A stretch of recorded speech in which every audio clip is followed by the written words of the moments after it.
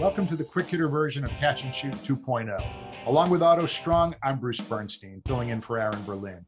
Our guest this week is Jared Greenberg of Turner Sports, who had some words about the retirement of Marv Albert, as well as the Hall of Fame induction of Mike Breen. We'd be remiss. I mean, because of who you are, what you do, where you grew up, the people you work with, the people you work for, we have to ask you a few questions about some of your colleagues and and even friendly competitors. But I really want to start with Marv Albert. Yeah. Uh, he announced his retirement. You're a kid from the New York area, grew up listening to him, no doubt. Was a person you respected, idolized, perhaps, and then you had a chance to work with him. Tell us your favorite personal Marv Albert story. Um, I, I think, I think my there's, there's a couple. I'll, I'll start. I'll, I'll, I'll give you Take this your one. time. We got time Yeah. for this one. Give, Yeah. give it to us. No, I mean it really is. Um, every time we do what's called a, a game open, right when uh, the big TNT music comes on, you see the shot from the blimp. Uh, Marv tells you what the temperature is outside, even though the game's being played inside. Um, you know, they give you the standings, kind of what's at stake for tonight, and then they come on camera and say hello. And every time he says my name, I and I'm thinking about it now. I'm getting chills now. I get chills every time that happens. Um, it's really a pinch me moment, Bruce. Like you said, you know, grew up in, in North Jersey, uh, watching Marv first, you know, on on NBC and MSG, um, and then obviously, you know, on TNT for the last however many years. Remarkable, but the the coolest thing that I tell everybody about doing national nationally televised games in the NBA um, for TNT and, and ESPN gets the same access is that about an hour before the game, we get a, a mandatory 10 to 15 minute conversation, off the record conversation with each head coach. And typically that conversation happens in the head coach's office. There's no cameras, there's no recorders. It's just the broadcasters and the coach, usually the PR person. And remember the first game I did with Marv, it was a, a Minnesota at Denver game. Um, and it was a couple of years ago, right when um, when when it was coming down to the wire, last minute, last uh, couple of uh, games left in the season, and the two of them were battling for the eighth spot in the playoffs. And we sat down in Tom Thibodeau's office, and I was getting ready to ask all these questions, and I had stuff for Thibs and all this stuff, and and Marv just went. Marv takes over the meeting and ask goes player by player by player by player, asking questions.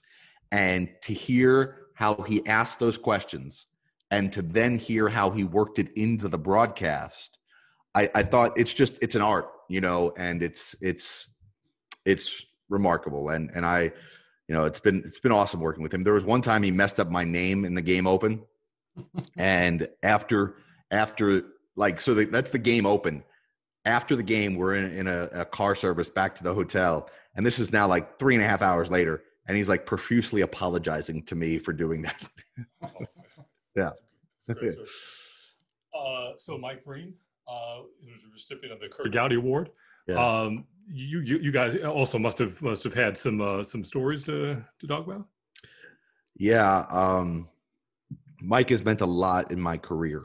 And um, Mike, uh, Mike, Mike, I'll say this Mike, Mike and I nearly almost worked with one another at one point, and um, he did a lot to try and help me and get me in position. And um, and Mike and I keep in touch often. And Mike and I also have a a uh, a mentor in common by the name of Ed Ingles, who recently passed away. Ed was Mike's mentor when he was coming up through Fordham, um, and Ed was my mentor at Hofstra, and um, th- he's really gotten the two of us together. And, and Mike and I are really close, and I, he's just like probably one of the classiest men I've ever met, and just he's just an awesome guy. Mike and I actually worked together. Wait, you know, you. It's funny because I know you went to Hofstra. You just mentioned it a moment ago. Mike and I worked together 30 years ago at Sports Channel America, Mhm. and our studios were on the campus of Yep. Hofstra University Yep. and uh, in beautiful Hempstead, Long Island, New York, in the shadow of the uh, Long Island Coliseum or whatever they call Nass- it. Nassau Coliseum, yeah. Nassau Yeah. Coliseum. Otto being a good Long Island boy too, he's uh, he he well knows that neighborhood. Yeah, tested daily on these things.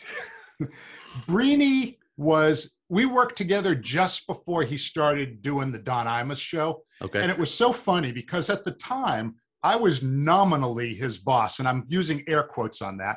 So it's so funny. He always gave me credit that I did not deserve because he said, you know, I had to clear it with you because I was working for Sports Channel and I was under contract. I needed to get permission to do Imus's show, and you said yes. And I'm thinking, well, what the hell was I going to say? Did you do you see where we're working?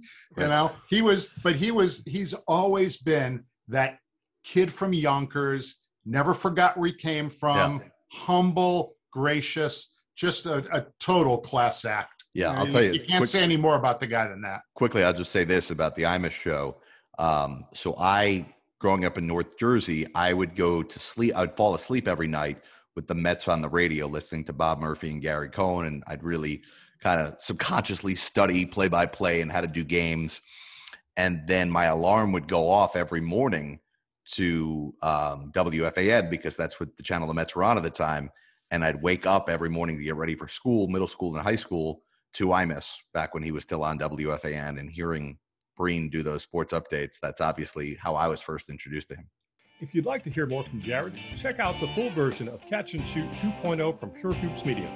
You can also see the video version of the Catch and Shoot Quick Hitter on the Pure Hoops Media YouTube channel.